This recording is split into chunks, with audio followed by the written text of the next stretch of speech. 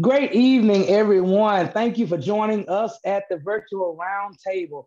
I am honored this evening to have my line sisters of Zeta Phi Beta Sorority Incorporated here to share with us this evening. There are going to be a few more that will jump on, but I'm, I'm thankful to have the ones that are here right now. And tonight, our topic is going to be about um, the pandemic, the effects of, of COVID 19 um, socially and mentally on the parents, teachers, and students. And of course, uh, my line sisters, the majority of them are educators, and a lot of them are parents as well. So they're going to give us uh, all three aspects. So, guys, if you've never been on before, this is an open platform. We like to um, you know, give feedback. We like to, uh, you know, engage the audience. So I'm, and I'm not going to do that much. I'm to let you all do it this evening because just from talking with you all, you have a lot to say. So I definitely want to provide that platform for it. And this will be put out on social media, on my YouTube page as well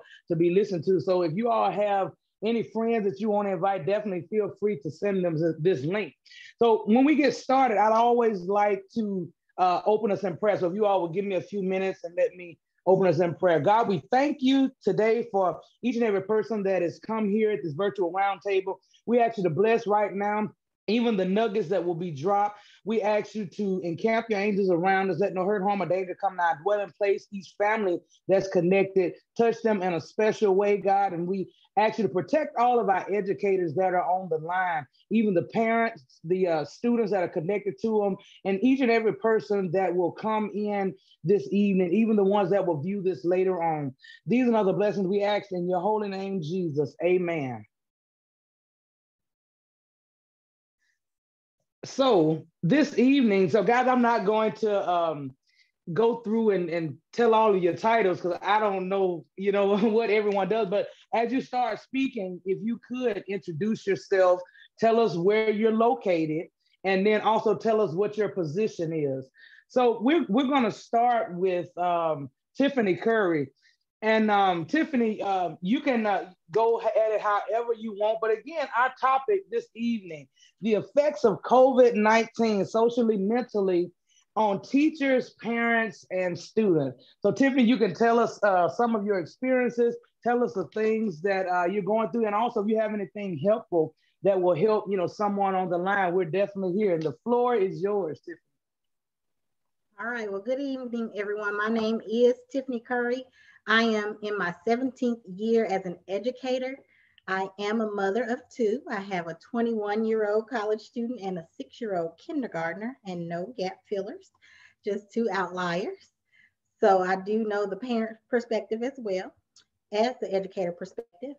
This is my first year as a school leader, though, so it has been a lot different. I am the coordinating teacher in Lincoln Parish at Dubach School, and it has been a very challenging year already with the pandemic, and then to move into ed leadership has added a lot, a lot more responsibilities to the job. But I still wouldn't trade it for the world. Let's have just introduce herself, and then we'll get into the discussion after Jessica, then Nicole, then Keela. Okay. Good evening, everybody. My name is Jessica Irving Stuckey. I am currently a third grade teacher in the state of Georgia. Um, this is my 14th year as an educator. I've taught many grades, but this is my first year in third grade, and it's been a a joy, you know, go teaching pandemic school. That's been my that's what I've called it all year. um, it's been a lot i've had a lot of challenges um, dealt with a lot of socio-emotional um, situations with students and just trying to keep them on the same on track and just learning and trying to still make it fun even six six feet apart um, so I guess I mean at the end of the day, I still wouldn't trade it like Tiffany said. You know, I I have been born and was created to be a teacher and I wouldn't change it for anything. so, well, I'll go on to the next person. Hey, I am Nicole Elmore Joseph. Um, I'm in my 18th year of being an educator, my 11th year as being an administrator. Um, I teach in Ascension Parish, and that's one of my daughters. That's my daughter. Um, I teach in Ascension. I'm an educator in Ascension Parish in um, Donaldsonville, Louisiana. I am the mother of um, three. I have a 14 year old, a 12 year old, and a three year old. And I also have three bonus kids. I have one in college at Texas Southern, and I have um, a 13 year old and a 11 year old. So it's been quite an adventure.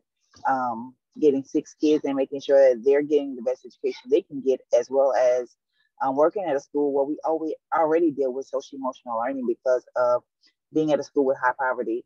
You're all going to deal with social emotional learning um, already. So the pandemic definitely added to it and increased the stress of our parents as well as our students. So I think I have a, um, it's been a very interesting year.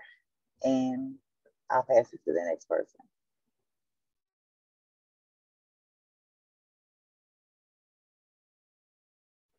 Keela, can you introduce yourself for us? We're just going around right now. If, if uh, you all can introduce yourself. Guys, we all went to Grambling State University in Louisiana, in case you're wondering. So uh, we'll do Keela and then we'll do uh, Camilla. Introduce yourself and tell us, you know, how long you've been an educator and what, what your current position is. Ivory Coast. Uh, this is my fourth year of teaching. I actually started teaching here, talking about challenges and I guess getting things prepared for what we're, we're having a little hard time hearing you. Keela, we're having a hard time hearing you. That was one of the reasons I didn't unmute myself. I'm a uh, mommy, mommy, wifey, old, we're in okay. park or whatever. Okay. I'll be I'll be free. I'm I'm teaching sixth grade actually this year. Uh, I'm teaching uh, sixth grade social studies and ELA, and I also have two children that are in uh, challenges as both an educator and as of course parent. Okay, thank you, Camilla. Okay, are we just saying our name and what we do? Yes, and then Tiffany Kerr is going to open it up after that. Okay, great. Sorry about uh, the delay in getting on. I just finished another Zoom. Hey, everybody. I know, sorry, y'all. Um, my name is Camilla Antoine. Hey, y'all. Hey. Um, I am a social emotional academic development coordinator for San Antonio ISD. Um, so my job is, I used to be a school counselor, so it's kind of school counseling on steroids. We are specifically designed to develop curriculum, uh, professional development, um, to specifically target social and emotional learning and how it impacts academic development on our students. We are a all high poverty Title One school district in the heart of the lower um, the lower income areas within the city of San Antonio. And so, yeah, I get to create programs, create and bring in, um, you know, lessons, all, all of that for the students as well as the adult wellness and staff members within our school district. And so, yeah, COVID has been very real, very busy, very crazy, uh, but unfortunately, it's part of what we're all experiencing right now.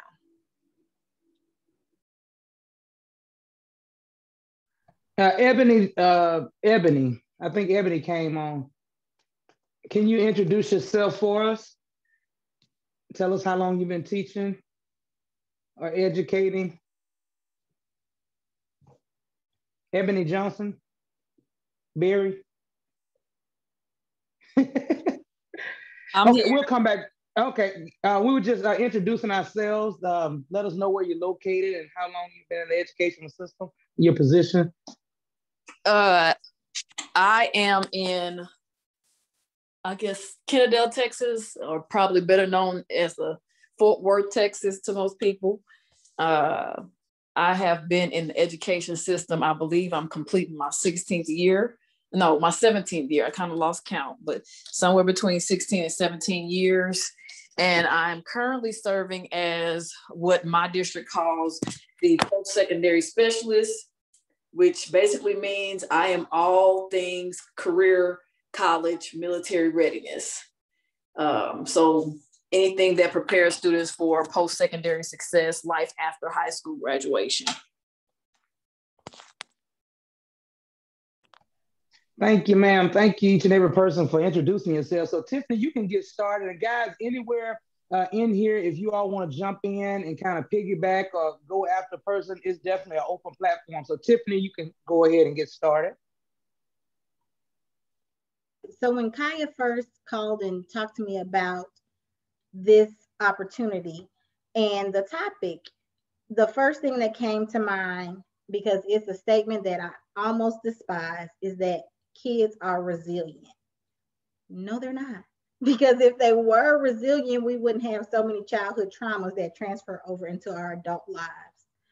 And we as adults need to be more in tune and allowing our children, this is just some Tiffany Curry beliefs, allowing our children to express themselves now more than ever. Because just like we're losing our parents, our friends, our cousins, so are they. And they don't know how to deal with their emotions. And if we don't allow them to express themselves and to teach them how to manage themselves, how will they ever learn and when will they ever learn? And those things transfer over into the classroom setting. And with the pandemic, it's been harder and harder. There's been a lot of students who need that social interaction with their peers and sitting six feet apart in pre-K is not fun. The school I work at, we're pre-K through five. And our pre-K through second graders aren't required to wear masks, but our third through fifth graders are required to wear masks.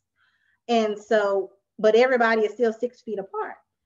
That's hard for little kids. Our five-year-old kindergartners, they don't understand why can't we sit next to each other and read the same together? Why do I have to sit at this one table all day and keep getting all this hand sanitizer all day? They do it because kids do want to follow the rules. They do want to be respectful, but it's definitely not ideal for the development of early childhood for sure, and for the social interaction of other students.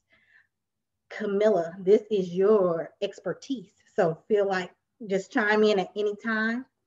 And it's not just our discussion, so any persons on here can feel free to chime in because I saw some other heads nodding and agreeing as well.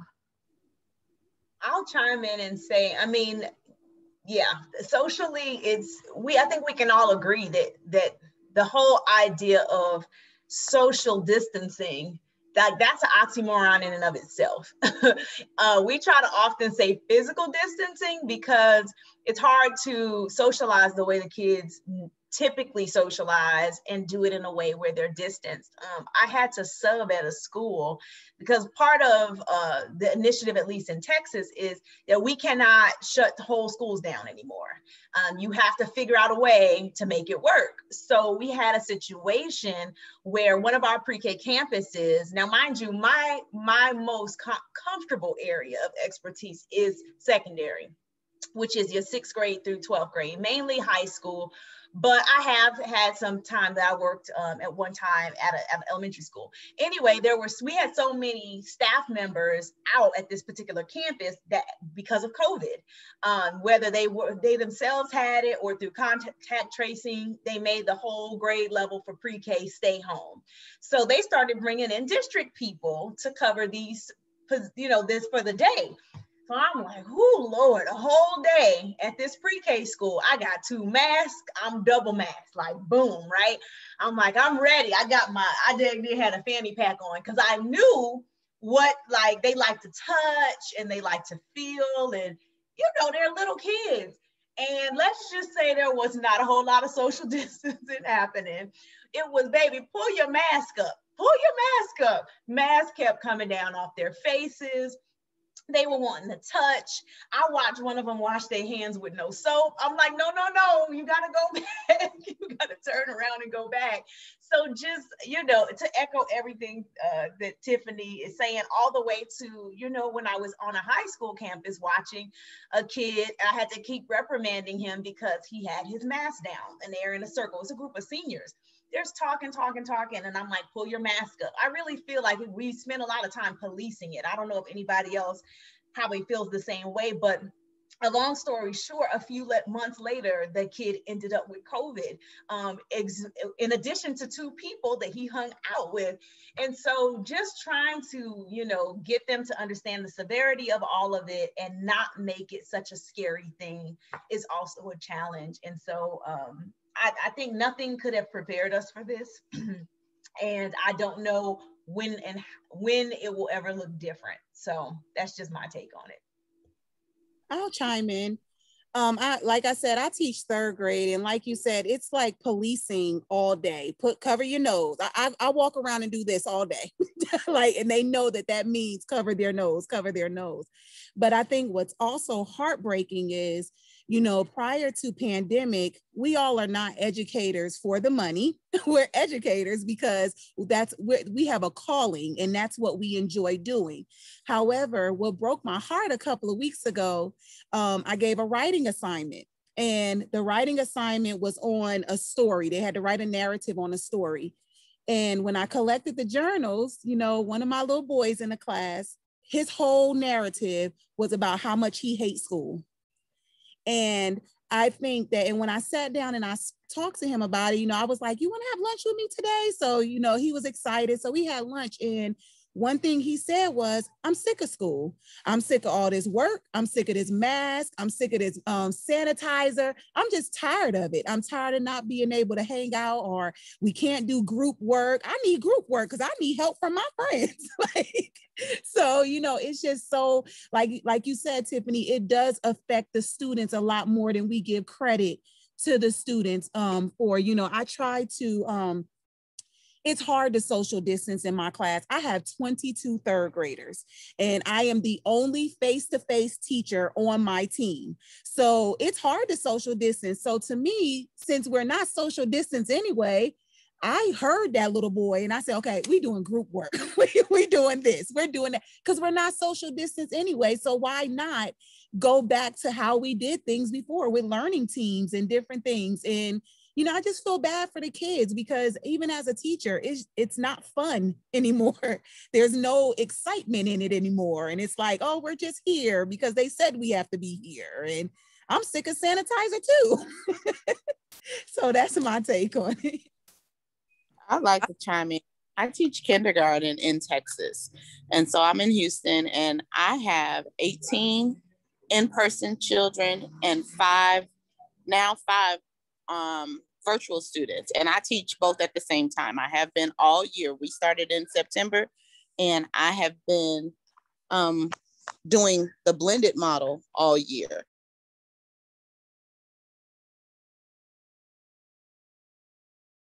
You're on mute. You're, yeah, you're muted. We lost you. Oh, okay. So for me, I kept asking our administrators, you kept you keep saying we're social distancing. However, uh, you keep putting kids in my class. Like at what point do because six feet is not even a thing in my class. Like now i can do three but that's not really plausible either. She made us move our rugs. We had to put our rugs in the corner because they couldn't sit together. Then all of a sudden the rules change. Well if they have their mask on they can be in a group for 15 minutes. So now you can pull small groups because we want this work done. So it seemed like it started being small conveniences for the school and so I just finally gave up. I'm like, you know what? We getting ready to do all kinds of groups. We gonna sing because they said we couldn't sing. I teach kindergarten. They have to sing. That's how they learn. So they were telling me we could they are not allowed to sing because that, you know, projects the the saliva and everybody's gonna catch it. No, if it's convenient for you to do it for 15 minutes, we're gonna sing all day long. So we sing all day, we play all day, and I do this all day too to my five-year-olds.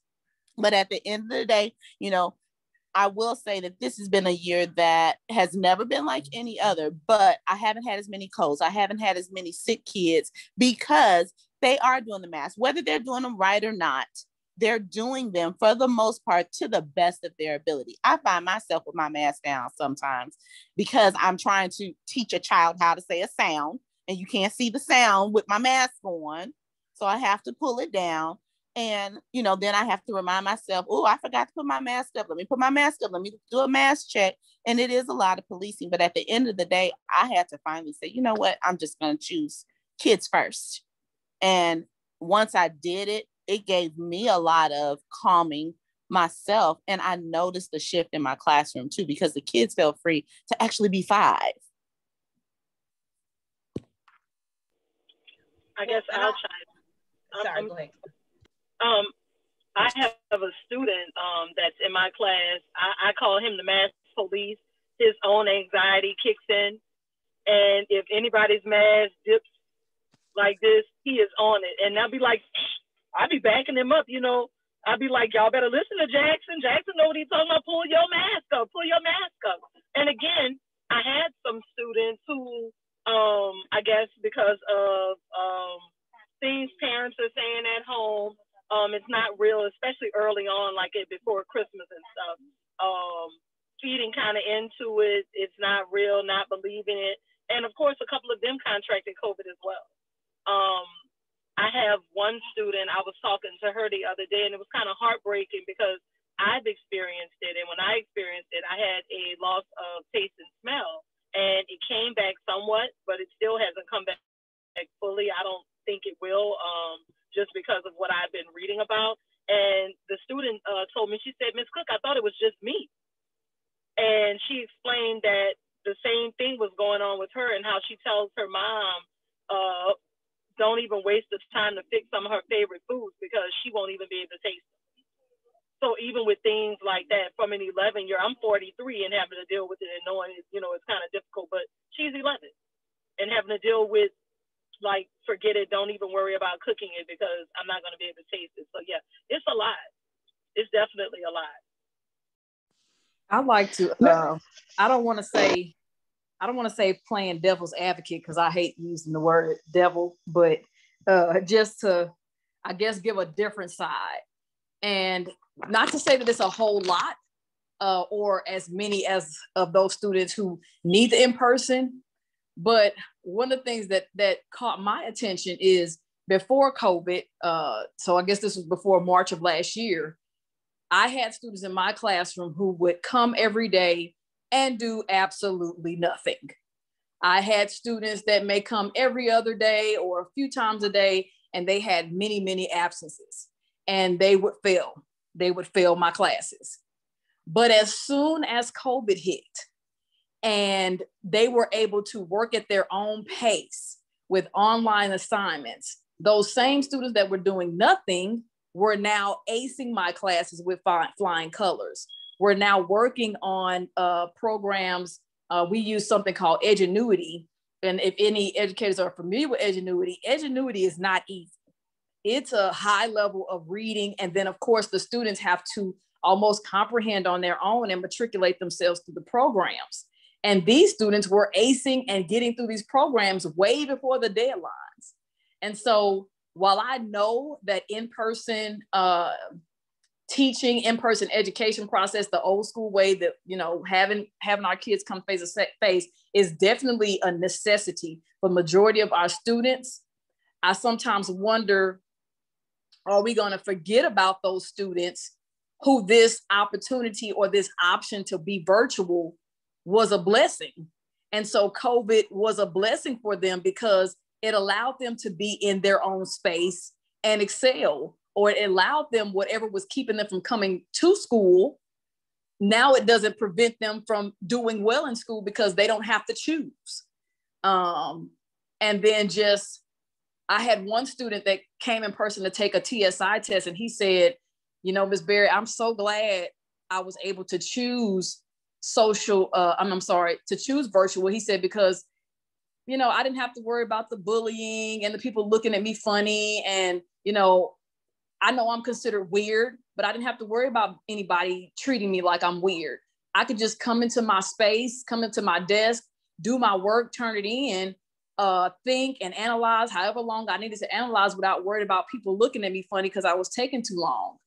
And so uh, COVID has been a hot mess. It has. It's been hard, you know, but in in spite, God has turned it into such a blessing in so many ways.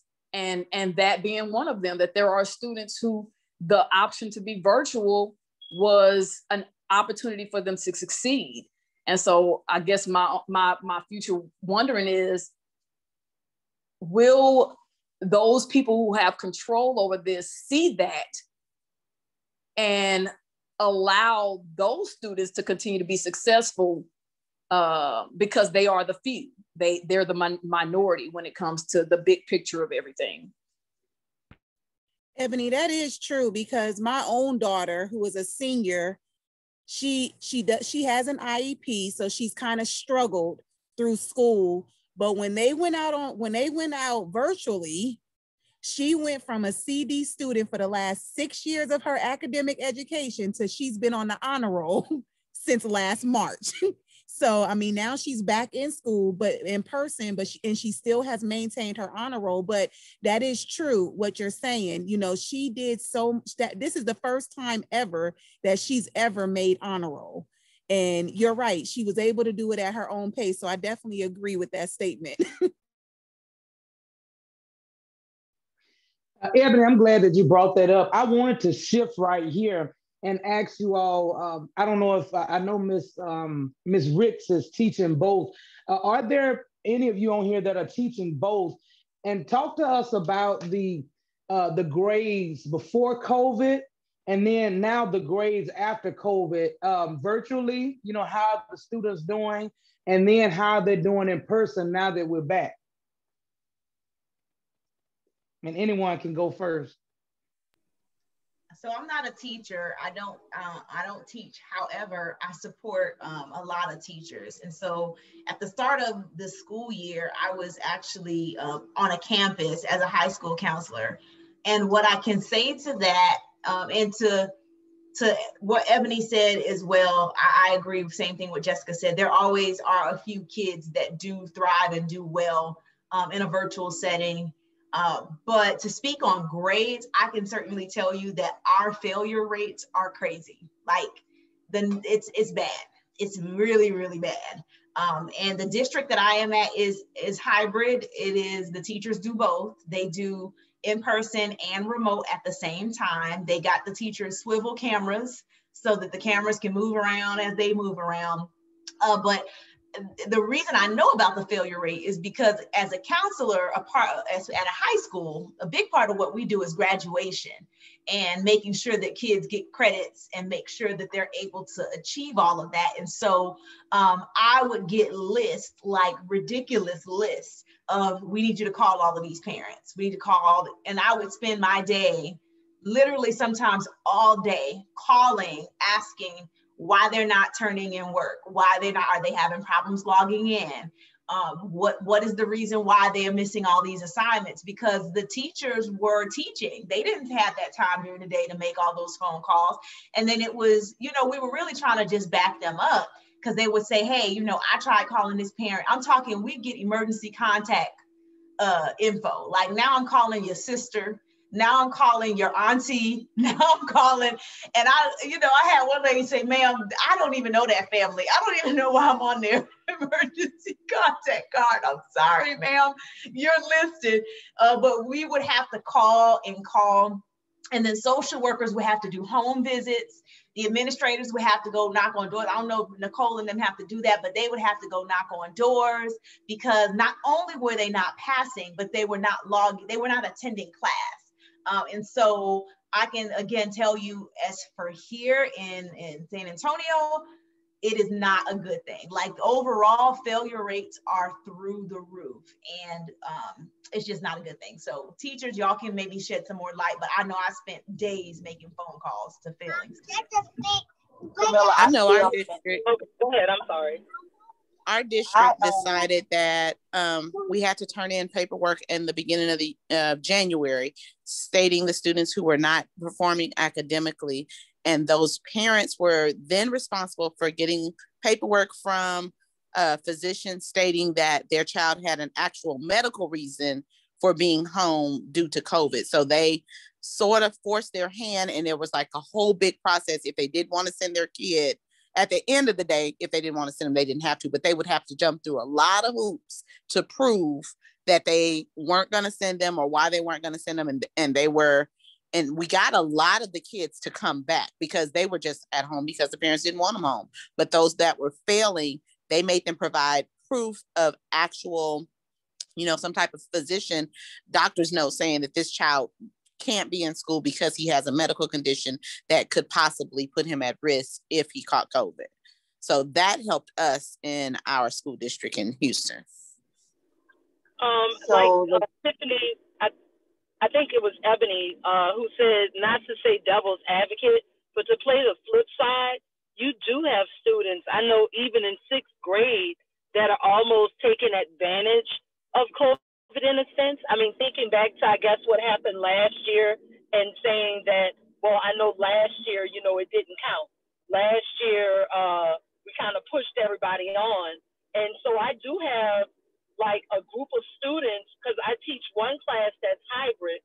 Well, no, they're not all in person, and then I teach another class that's hybrid, about maybe about 13, 14 in person, and then about maybe six or seven virtual.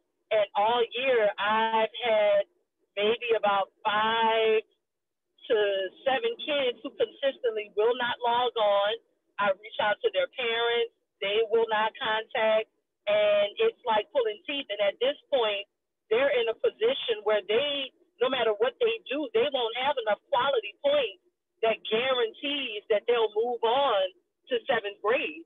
You know, so now these, like Camilla said, these are the conversations that are now being had. I'll be making phone calls this week, pretty much letting them know your child needs this grade in order to move on um, to the next level. So uh, it's it's a like I said, it's a lot of different things uh, going on. You have those kids that are doing better, as Jessica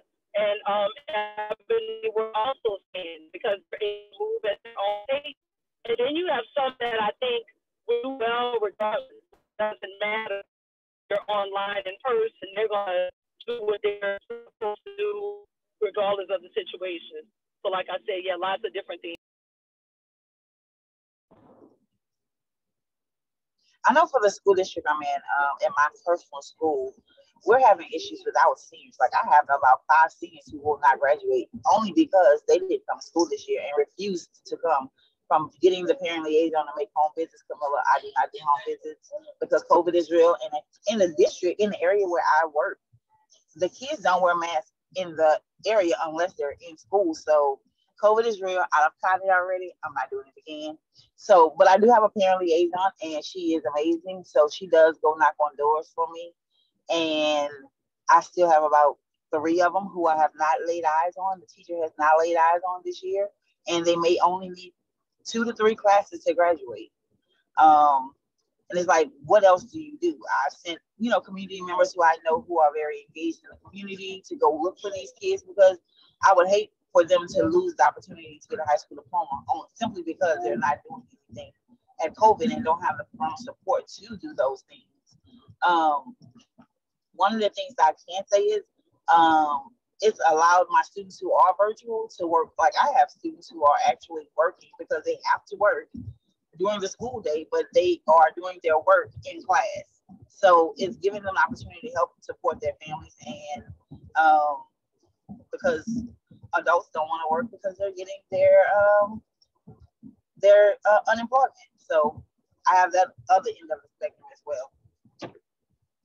I don't know if anybody else is experiencing this in their district, but I know for mine, um, there's like a lot of um, intervention programs that's usually in place for those struggling students.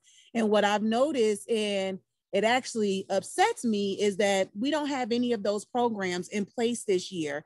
So it's like if you have a child that's extremely low that needs that intervention, RTI, different things like that, and they're not getting it, uh, according to my district, we're not holding anyone back. And I think it's just really upsetting because I have kids in my class that should be on a, let's say, just throwing it out there, a level Q reading level in the third grade, and they're like on a G or an H.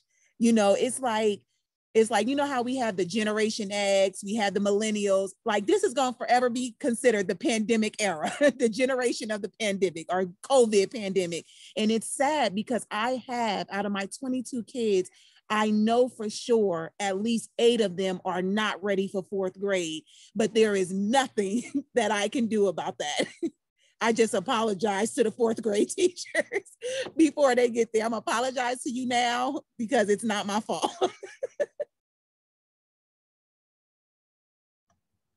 And speaking of interventionists, last school, well, the last five school years, that's what I did for the district. I was a reading interventionist. And after COVID, that was one of the positions that we eliminated here in this school district. And so sadly, that is the case. And teachers have been asked to complete their own RTIs, but yeah, and it's rough. it's hard to complete your own RTI and still balance curriculum and instruction and you know, different things. It's even hard to just get a regular small group because it seemed like everything is just so rushed today. It's like you get there at 7:15 and before you know it's two o'clock. Like it's time to go. and it's so many things that you can say that you did not get to. And it's like I feel bad for the kids that are not ready for fourth grade, but I'm not, I'm in no position. I'm just a teacher. you know, is I'm not in no position to say, okay, this child doesn't need to go to fourth grade. They're like, they're just passing everyone.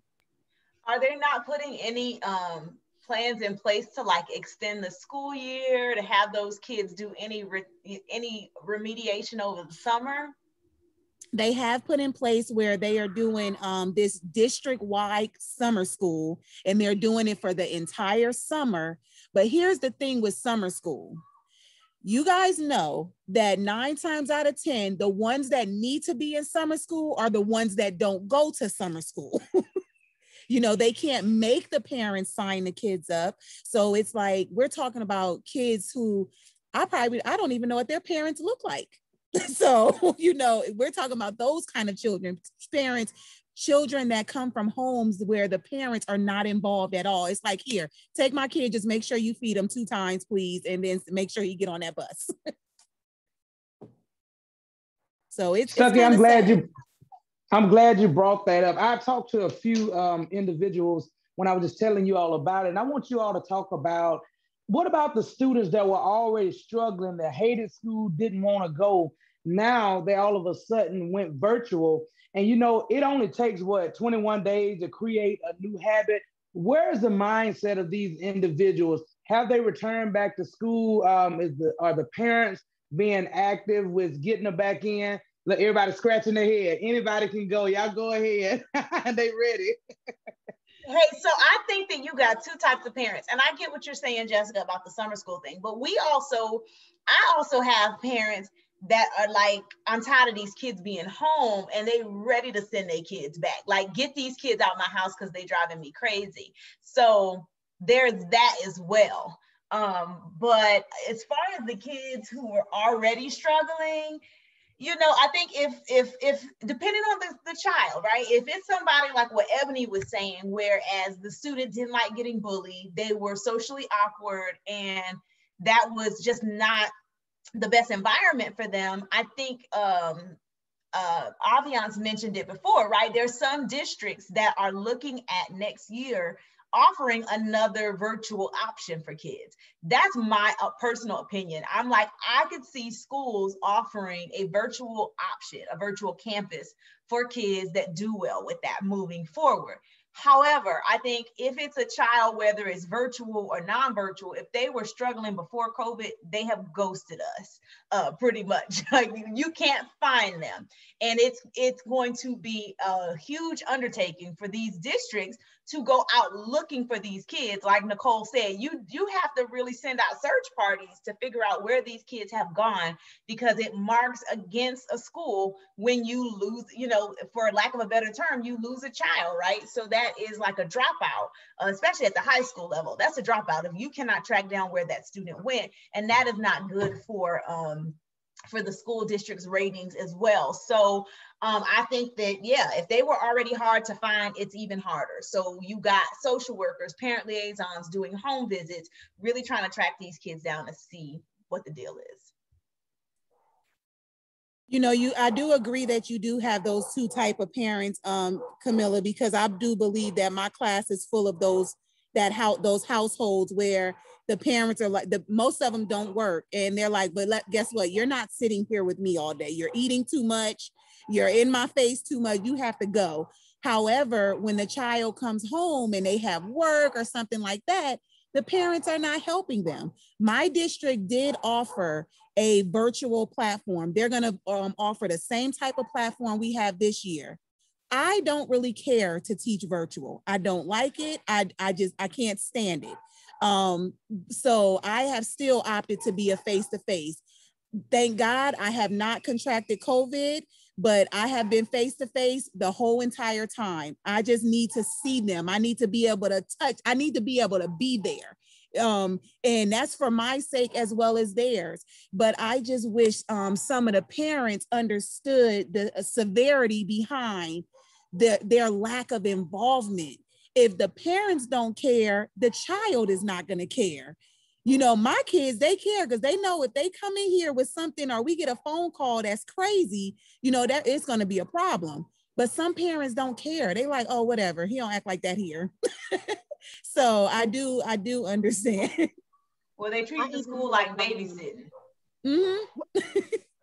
I had one, I have one student and at the point at the time she was pretty much failing every core subject. I teach two of the four subjects so i know she was failing those two. And i believe she was failing two other subjects and it was the midway point like after the first uh, semester. And so i called her mom and had the conversation you know she's in danger of failing for the year dot dot dot. Her mom told me if the be now her mom works from home but she told me if the behavior continued she would she might have to make her she might have to make her sit in the room with her when she's working if the behavior continued i just told you the child was failing and it's still failing everything.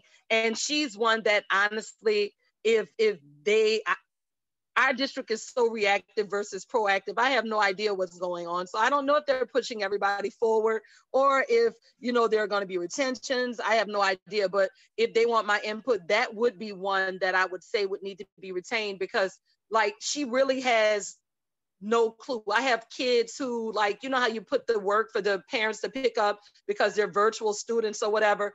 We're in the book for unit three and I have parents like, yeah, uh, when can she come and pick up that book? I'm like, ma'am, um, there's no reason to pick up that book. That was unit two. We're in unit three. Um, I don't know what to tell you. So yeah, it's that is, I guess, it. Ex- I was telling Kaya this before. That exposes to me a lot as far as what the district and what the school systems really provide for children like outside of them being students, just what they provide, the support they provide for children in general, when that parent, unfortunately, that parent component is either missing or lacking in some way. And y'all, I really think for for for some of our parents, they can't do it. Like they don't know how to do the work because they're saying, "Oh, that's new math and that's new things." We just need you to get your kid in front of the computer so we can do it. But because they don't know how it is. They really don't. They don't know how to support their kid in doing their schoolwork or doing the work. I know with our district, we're uh, synchronous, so our our teachers are teaching to at home and in person, and parents are supposed to be supporting them, but they can't support the work that they can't do, and that is a big concern. I agree with what everyone has said. One of the many hats that I get to wear is also the technology coordinator. And so when school first started and we were sending home all these Chromebooks and for all these virtual students, and it was every day I was outside teaching the parents and the grandparents and the and the cousins how to log on because they didn't have the technology knowledge to even log on for the kids. But they were calling the school saying, well, we trying, we trying, we trying. And then our school is in a very rural area. So I need you to go get that free hotspot from the school board. Because I can't say our school district is providing the supports that the parents need. Our students can still come and pick up breakfast and lunch if they're virtual. We provided a free hotspot for you. Now, the amount of times that they have to come up to that school to pick up work, I think is ridiculous. Just send your kid to school. But to each his own. We did, I did have the opportunity to do a little virtual school with my boy because we had to quarantine. And I said, oh no, I don't know why parents doing that. He only in the kindergarten. And we really had to be on there from like eight to two. And we really had to do work. And it really was a lot. And so I was like, why wouldn't parents just send their kids to school? Because we weren't sick. So at first I was like, oh, we can, you know, I still can do some stuff for work and I can help him because he's kindergarten. No, it wasn't like that at all. In the first day, the technology coordinator who has given all this wonderful advice, so calm and with a smile to all these parents, oh, it's all you have to do is we missed the first day because we couldn't log on. And so when I went back to work, I was able to report to the district like, if those kids really try to log on like three times a week, they deserve to pass. and so, because it is hard, and my child has the supports, but I was ready when we could go back, like, yes, we back. Take us off the virtual schedule. So if the parent support isn't there for the virtual, it's definitely not going to work. Yeah, I definitely agree with the part um, where she's where um, Ms. Joseph said that there are lots of parents who have no clue. Like Tiffany said, there are grandparents who have never even had a computer who are having to now touch computers. Like I had one mom, it was the first couple of weeks, and I'm on camera. At that point, it was like 18 on camera and five in class. And she goes, she's red in the face and she's so angry. She said, Miss Rex, every time I push that X, I just lose you. I lose you every time I push the X. And she was so frustrated because she kept logging out. You push the X, you go out. Duh. And I'm thinking, duh, but at the same time, you know, you have to be professional. And so I said, Well, ma'am, I'm going to share my screen and I'm going to show you. So I showed her, I said, You're pushing this button here. She was like, Yeah. And every time I press it, you just disappear. And she was so angry. And the kids sitting there. So they're feeling that that anxiety, that anger. You know, they're anxious too, because they're like, mama's mad, grandma mad. She's a mama and a grandma because she got two kids in kindergarten. And so I had to sort of walk her through. You don't push this X because it's gonna kick you out every single time you push it. That's why you lose me. Just push the little line. And she was like, oh, okay. I, she said, well, actually, she said in front of all the 18 virtual and five online. Well, I'll be damned. And, you know, those are some things you can't help either. And I'm like, yes, ma'am. And so then I showed her how to minimize. Then the next day she was back on and she was upset because I can hear you, but I don't know where you're at. You're missing. I can hear you, but I can't see you because she had minimized me. I was at the bottom of the screen and she just didn't know. So it's a lot of teaching that we're not just doing for the kids, we're teaching the parents. Shoot. And like Tiffany said, we're teaching ourselves because she had all the great information for everybody else. But then when it was time for her to execute, I've never had to do a Zoom. You know, we Zoom is new to everybody for the most part, not unless we were all in big businesses before, but this is 26 years for me in education. I've never done a Zoom meeting. And so learning alongside, like building a plane as we fly, has been one of the things that we've been saying all year long. That's what we're doing. We are flying a plane that we are building in the making. Everybody hold on tight. That was a like good that. one right there. Yeah, I like that. Listen, that that was that was real good. I'm gonna ask each and every person to put on a different hat. Let ma- the majority of you all are parents, and this is not just for the Zetas. This is for anybody that's on here. You're a parent and you're dealing with this. Let's talk from a parent perspective. Let us know what is your what are you dealing with? You know, helping your child. What is your child going through? Uh, anyone can go.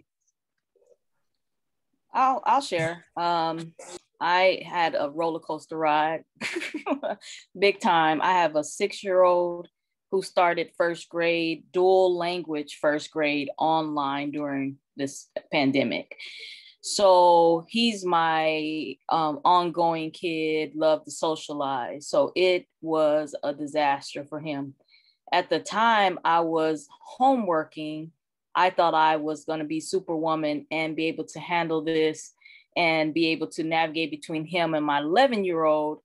Um, but yeah, we struggled the first couple weeks. He was in tears.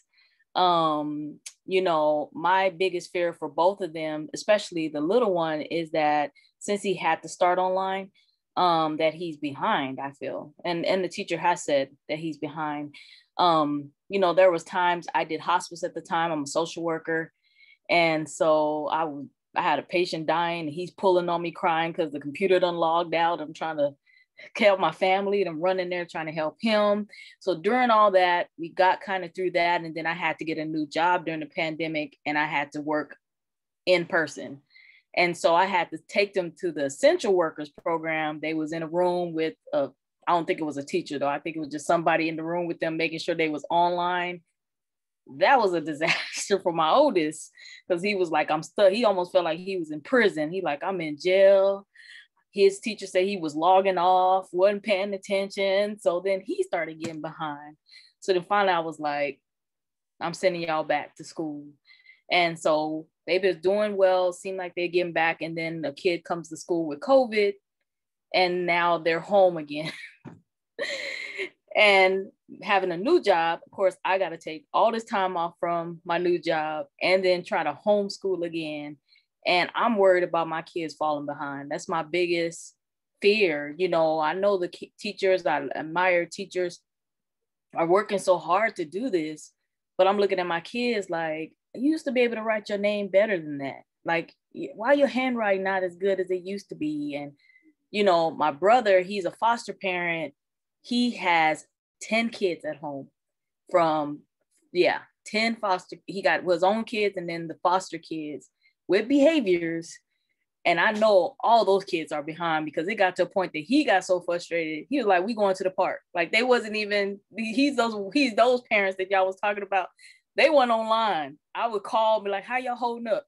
We at the park. I'm like, "How you at the park at school?" You know. He's like, "I got three first graders and I got a fifth. We don't know what we doing. We gone. We not been school. So I'm just like so scared for these kids that you know I'm like, what are they to do when they finally get to the grade and the teacher get look at them? What's to happen to our kids when they say, you know, you reading that second grade, but you in fourth grade? You know, my my nephew got speech problems, and I and you know he was in speech therapy, but he ain't had speech therapy for like a year. But they forward him on to fourth grade.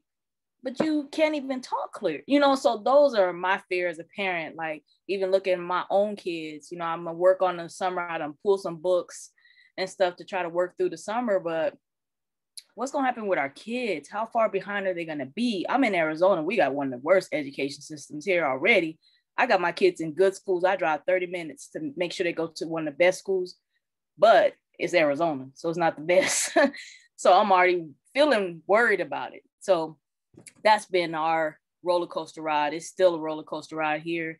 I commend all you educators. Um, I definitely thank you for all that you do. Um, but it's hard. It's really hard for us parents out here trying to keep our jobs and make sure our kids are learning at the same time. They logging off when we don't know they logging off or playing Roblox when we don't know they playing Roblox and they supposed to be in class. And it's a nightmare. I can't do it. I can't.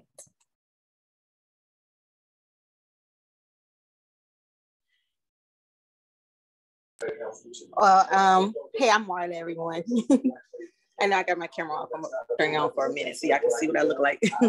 but um, I guess for a parent like me, um, my child was a senior at the time.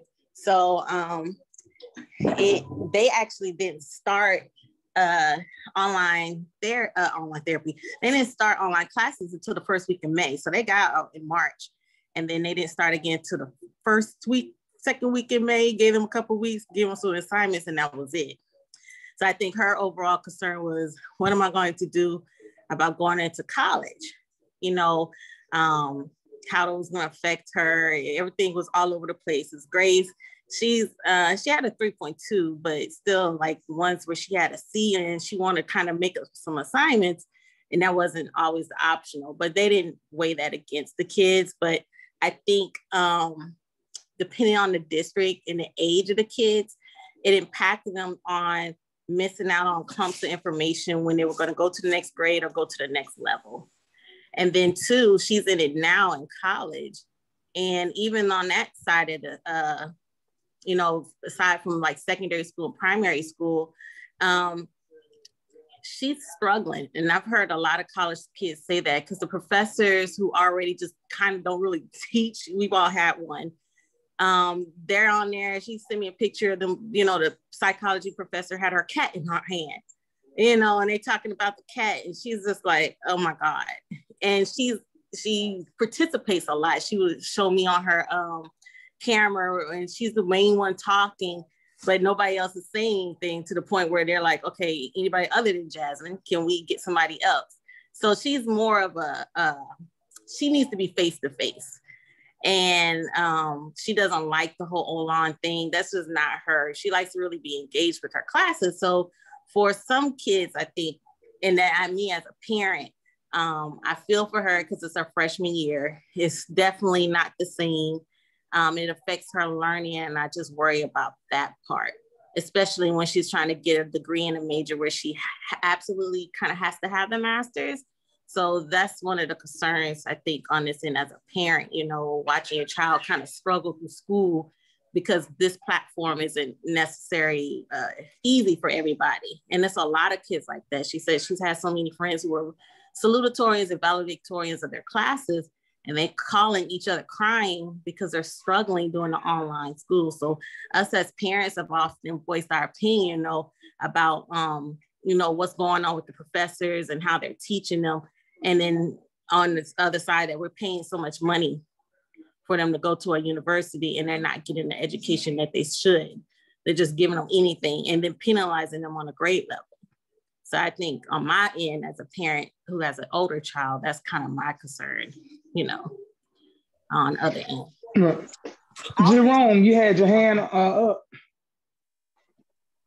Yeah. Hey, y'all. Good evening. Um, got into the chat a little late, um, but I'm glad you did ask the question about um, from a parent's perspective. And salute to all the teachers. Y'all get all my respect before then, but especially in this pandemic year, you have your work cut out for you. Uh, so uh, my biggest uh, deal with this pandemic year being a dad. I'm a um, single dad of three daughters. One's in middle school, one's in high school, one's in um, just graduated um, from HBCU and is going into a master's program. Um, one of the biggest things I noticed, um, there was I noticed a disconnect with my children, the minor children, where they really wasn't like trying to come over and stuff like they normally do every other weekend and come kick it with me and stuff. And it kind of did something to me. I'm a hands-on father. And um, I was wondering was something going on, you know, was the ex, you know, pumping some poison or whatever. And um, but you know, we're approachable and I'm like, what's going on? She say, Hey, the kids just kind of doing their own thing or whatever. Um, my kids are open, but they came and told me they said, Dad, this online thing, and all three of my daughters do good, do well academically. And thank God they're still doing well. But they had to break it down and say, Dad, this is so stressful for us having to transition online. We're not seeing our friends, this, that, and the other. So it's a little bit of a task for us to have to pack up and come to you on the weekend and blah, blah, blah and everything. And it just hit me. I was blindsided because I'm gonna be honest with you guys. I was really kind of in my feelings, like, what's going on? And when they said that, I was like, wow. So this thing hits on so many levels, much more than you know we could probably would have ever thought of or whatnot.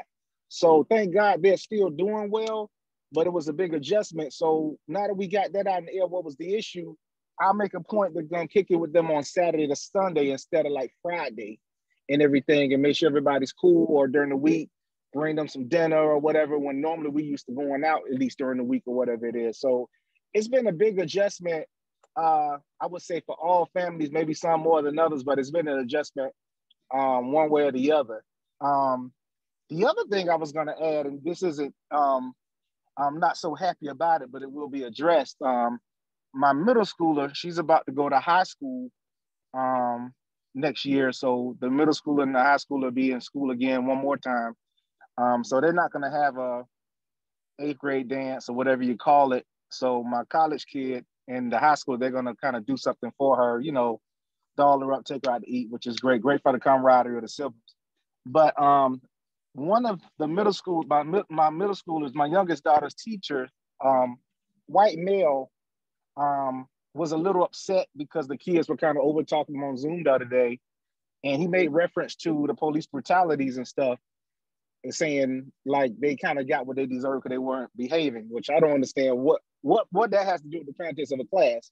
So um anyway, my daughter, she's outspoken. She had a conversation about it. He didn't like it. So uh, my ex-wife and I, we will be sending an email to the school. So I'm still trying to figure out what police brutality and everything else got to do with the classroom, virtually or in person. But um, and we are sure to address it. Um, so that's all I got. I know even though I said that my daughter was doing great academically, I will say that it's been a struggle because she hasn't been able to truly enjoy her senior year. You know, they've kind of snatched away everything. So, you know, even with the um there's it's still up in the air on how the graduate what the graduation is going to even look like.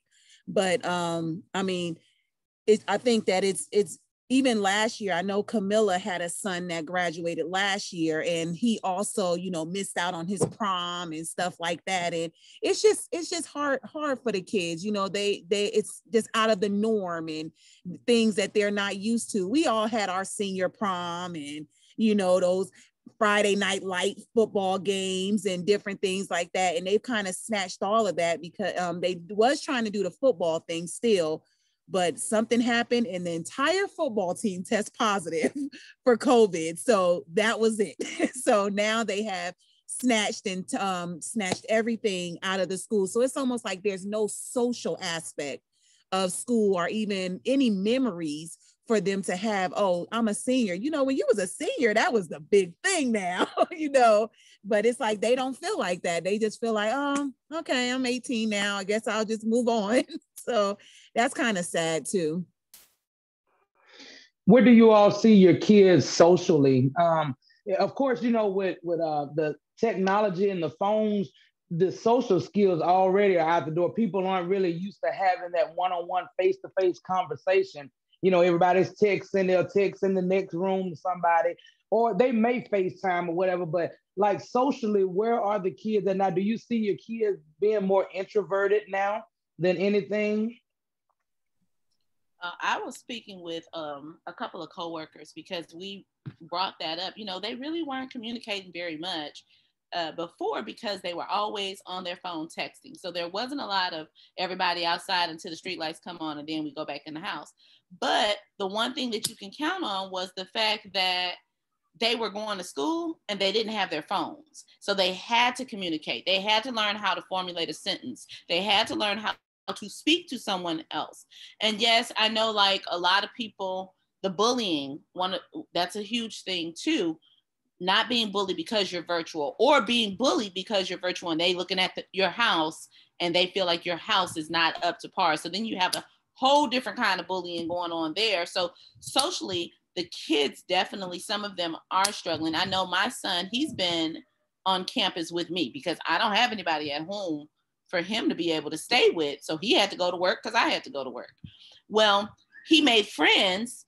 And the thing is, the kids were coming back, you know, in sections. So you may get one kid this week, and then maybe at the end of the semester, you might get two more kids. Well, that connection that he formed with that one kid, and he's thinking, oh, this is my best friend. Now, when the new kids come and their friends, it's like, wait a minute, he's my friend. And so instead of them forming those relationships at the beginning of the year where they're all able to, you know, all play together and be friends, it's like, okay, well, no, we're the friends that were here first, and you're the new friend who just got here. So you need to make sure that, you know, you're in that group and we're in this group. So I've seen a lot of that, and he's in second grade.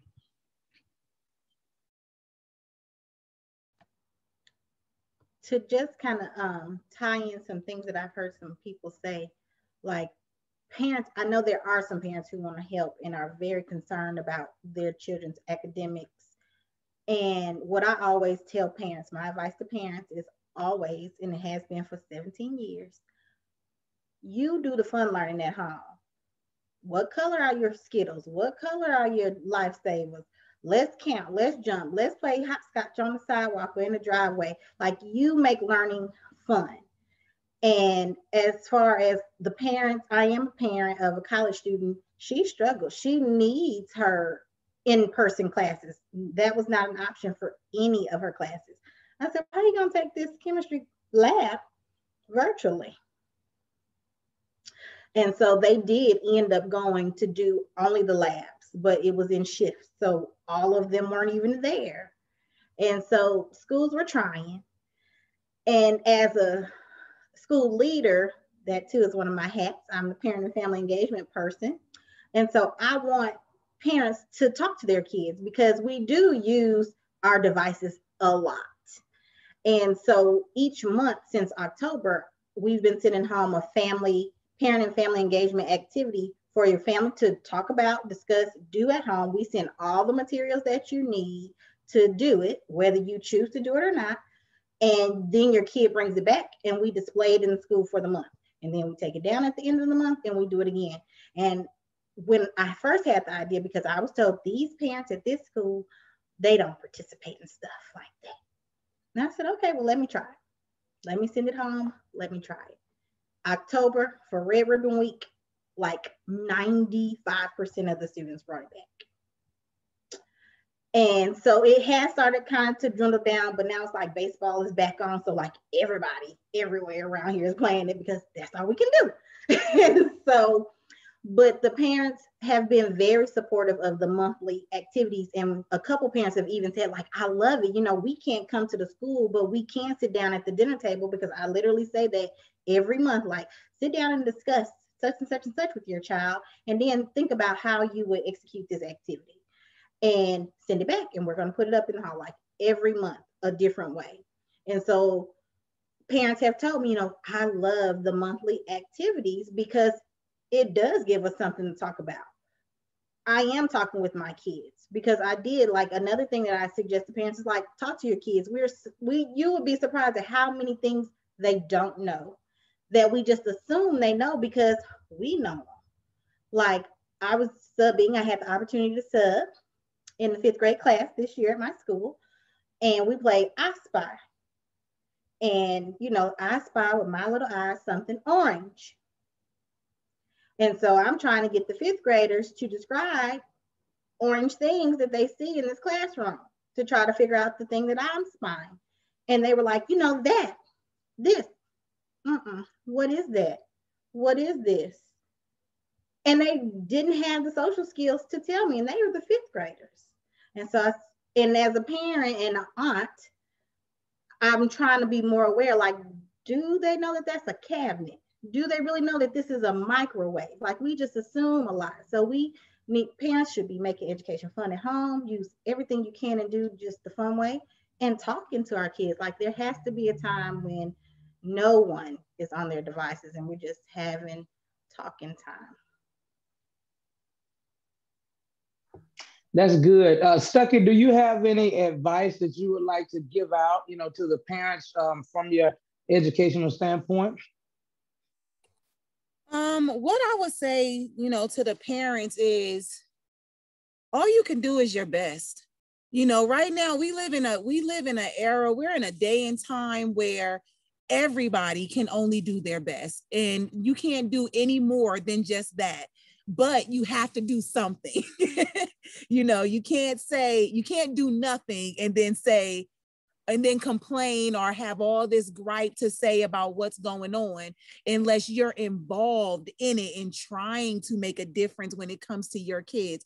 I think parents forget that sometimes that you know you are your child's first teacher. Yeah, this is our career. We show up every day because this is our career and we're going to do the best we can for your child but you are your child's initial teacher. So all I would say is just continue to push and just try to continue to do your best for the betterment and the, and the success for your children. Ms. Ricks, do you have anything that you would like to leave? We're getting ready to wrap it up, but definitely want to uh, get some final words from you all as educators. No, I just you know, like Tiffany said, talking to our kids and having fun with them. Because I think a lot of time we fuss about things, but we just don't take the time out to just have fun. Play a game. A simple game of Uno can reveal a whole lot. You know, just in your home, how they deal with interaction when they lose, just teaching on just the level of, you know, how do you react when you lose? as a parent because you know uno is can get real thick around here you know so just playing a game i suggest everybody at least once a week try to play a game with your family just sit down and have that family time when you're not focused on anything other than the people that are there with you because at the end of the day, especially if you all are at home a lot or can't get out because of COVID, you have all you have are each other. So you want to be able to build that family unit. So if nothing else, they can come out of this and say, because I've heard my kids say, well, when we couldn't go to school. My daddy was home every day and we played games and we rode our bikes and we did this and we did that. Like those experiences are things, those are some of the moments that some of these children are going to remember forever because before that, dad worked uh, all day or out of town or whatever, and they never got that opportunity. So just spending that quality time with your family can make a huge difference. Thank you, ladies, for this. It was great. Yes, ma'am. I've enjoyed all of it. Now, uh, guys, uh, you all that uh, it's your first time on here, we have people that are usually on here um, every week. So I'm going to open the floor for them um, in case they want to say something. Miss Brittany, you have anything that you would like to say to the educators? Thank you. Um, I don't have any children myself, but my mom, she is going into her 20th year and she works with special needs children um, so all of this that you ladies have shared today, and I mean, she I wish that she would have been on today, but I mean, it, it's just I'm keeping you all in prayer and hoping that God gives you the strength to continue on because you know teachers really don't get the recognition that they need but time and time again you know you all are the ones that are keep pushing and trying to motivate the children. So i know it's difficult. I salute each of you and uh, just thank you. I've learned a lot um, by you all just sharing your story. So I appreciate you for taking the time to do that. I think, you know, uh, um, in the past, we've heard a lot of people talk about the teachers and, you know, they talk about, well, teachers aren't teaching and they aren't doing this. You know, the parents have so much to say. I think that everyone has a newfound respect for educators now, even if it's the worst educator, you understand that that educator was your babysitter. They made sure that your child ate every day. They gave them a couple of meals. You know, they made sure that they did some of the homework and things before they even got to the house. So they actually took a good load of, you know, things off of you as a parent before they even got home. So you have no choice but to respect teachers because I was talking to someone, it might have been Nicole uh, Keeler, one of them, and they were talking about how even during the school year, their curriculum has changed five times. You know, just trying to adjust to everything that is taking place. That's a lot of time to change the curriculum. You know, I, I I've taught at uh, Gwinnett Tech teaching barbering and just setting up a curriculum and and doing an agenda, that's a lot of work. And I'm like, how in the world do they do this? Because you actually have to always think ahead. So when they bring something in the middle of the year and say, okay, we got to insert this, or we need you to take this out, then you got to go back, take everything you did, try to scramble it together, take this out. It's just a whole lot. So, you know, we, we definitely appreciate you all as educators, and the majority of you have been doing it over 15 years. That's a long time to deal with somebody else's kids and then come home and deal with your own kids y'all all need a raise. y'all need a couple of raises. but but definitely we appreciate y'all. Uh, Tyree, do you have anything you would like to say?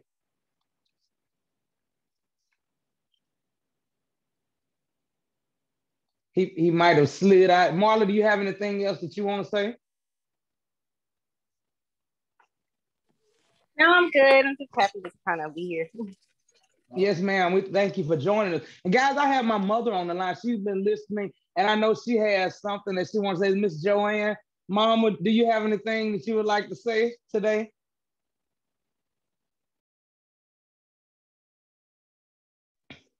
Can you hear me? Yes, ma'am. My hat is off to good evening, everyone. It's so nice to meet the ones that I have not uh, met before. My head is off to you all.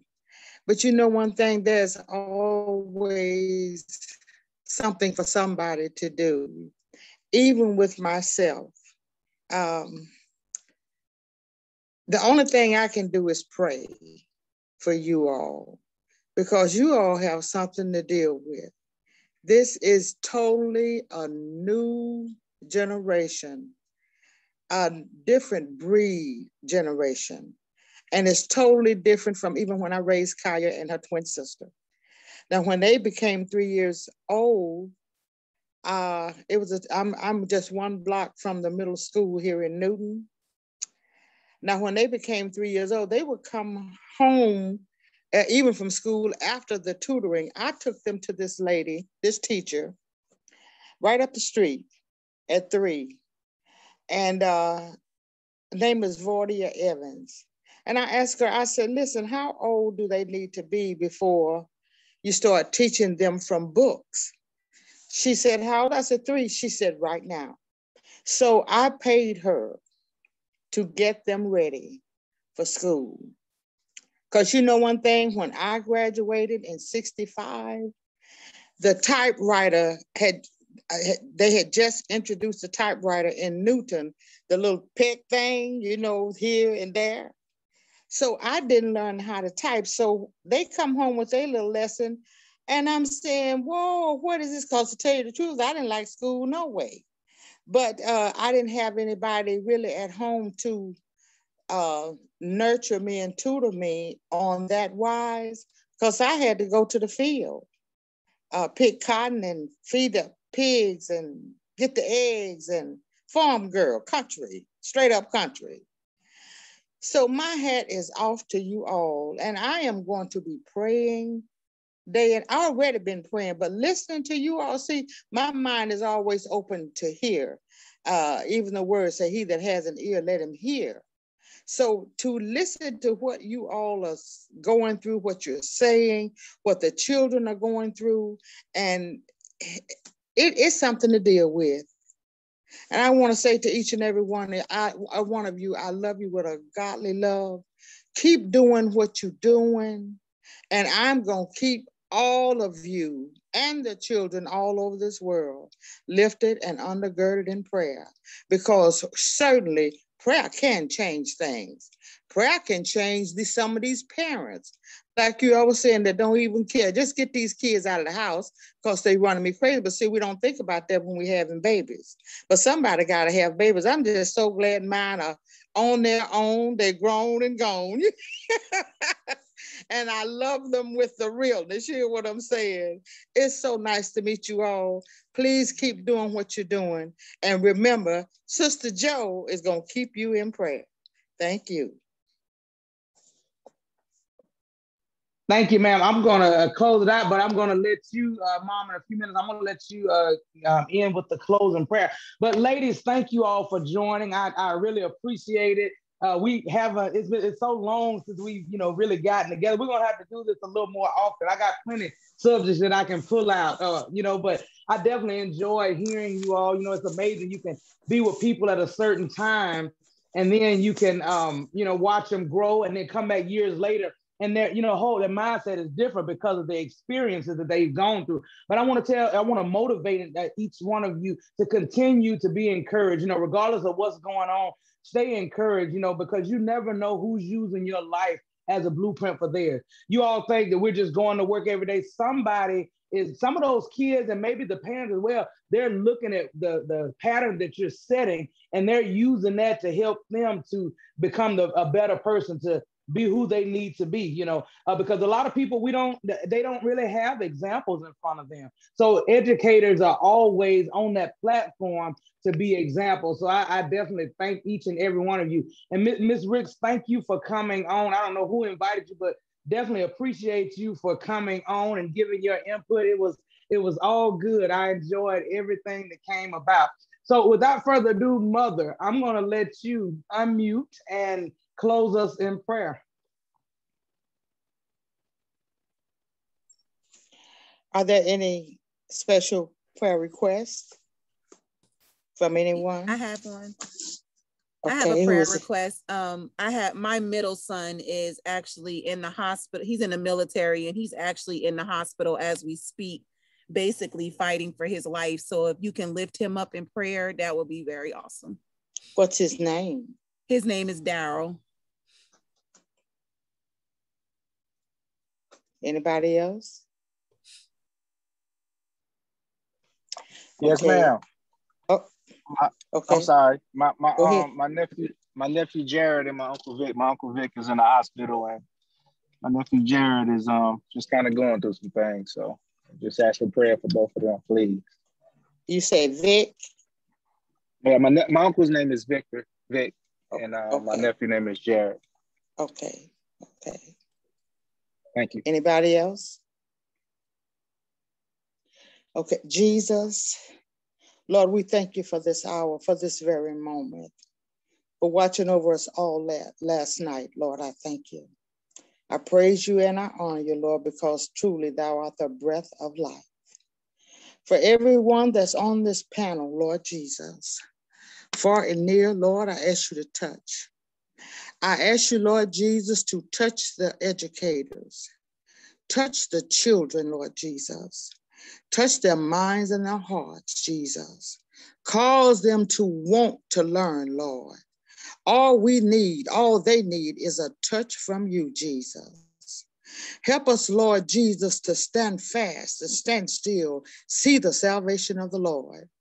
Lord, I thank you for every open door. I thank you for that that you're going to do, Lord. Lord, I praise your holy name. Lord, fix whatever needs to be fixed. Help broken heart. Jesus, when we get weary, Lord Jesus, be our comfort. Because knowing that you are our comforter, Lord Jesus, you know you are our leader and our God, Lord. And I thank you.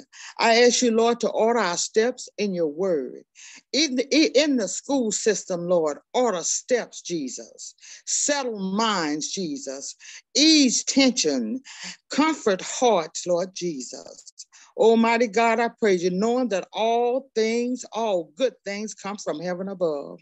Lord, I praise you today because there is nothing happening out of your will. Help us, Lord, to seek you in all our ways, Jesus, to come to you, Jesus. You said acknowledge you in all our ways, Lord. For there we will find peace and joy and happiness and strength, Lord. Strengthen where we're weak. Build us up where we're torn down, Lord Jesus. Lord, I thank you for keeping everybody on this panel, Lord. Hallelujah, Jesus. Jesus, comfort hearts, Lord. Lord, I ask you to touch Daryl, Jesus. Touch him from the crown of his head to the soles of his feet. Lord Jesus, work out every situation, Jesus. Comfort everything that needs to be comforted within his body, Jesus. I rebuke sickness and disease, Jesus, infirmities. I rebuke it in the name of Jesus Christ. Lord, I ask you to touch Gerald, Jesus. Touch their minds, Lord. Touch his mind, Father. Regulate Jesus. Put everything in place where it needs to be, Lord. Hallelujah, Jesus. You even know every hair that's on our head, Lord Jesus. Almighty God, Jesus, minister to his spirit, Lord. Touch Vic, Lord Jesus. Almighty God, mighty God, comfort, Lord Jesus. Heal, Jesus. Satan, the Lord rebuke you, and the blood of Jesus is against you. You have no power here. I bind the will of the enemy and bring every one of his works to naught. Hallelujah, Jesus. I come against every evil spirit, every hindering force, every foul demon, knowing that Satan is out to destroy our children. But I bind him in the name of Jesus. Let thy blood prevail, for the blood, Jesus, there's healing in the blood. Lord, and I praise you and I thank you, Jesus. Jesus calls us to rest tonight. When we lay down to slumber and sleep, Lord Jesus, be our peace. Thank you, Lord, for the angels that you have encamped around about us, Lord Jesus.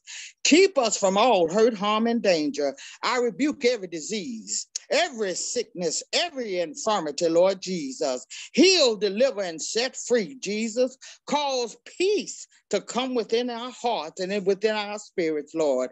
Help us to look to the hills from which cometh our help. Hallelujah, Jesus. Help us to rest in thee. Help us to seek thee in all our ways, Lord. And I praise you, Jesus.